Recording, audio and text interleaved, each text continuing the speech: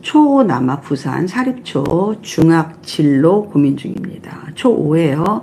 학군지 남중 진학이 가능하고 가까운 거리에 예술 중이 있습니다. 입시만 예중이고 입학 후에 교과 위주라서 고교 특목 입결이 좋습니다. 향후 자사고 진학을 원하는 상황입니다. 악기를 새로 시작해야 하는데 일반 중 진학이 나을지 고민입니다.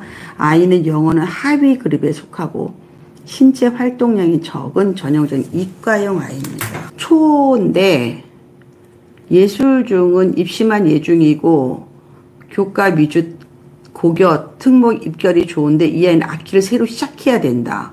근데 이과를 가고 싶다. 예중 가시면 안 되죠. 예, 그건 말이 안 되는 거고. 네.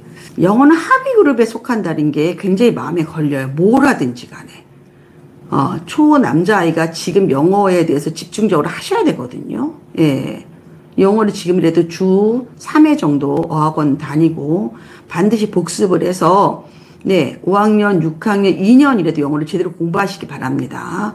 지금 영어를 못하면 영어를 제대로 공부할 수 있는 기회를 놓치는 거예요.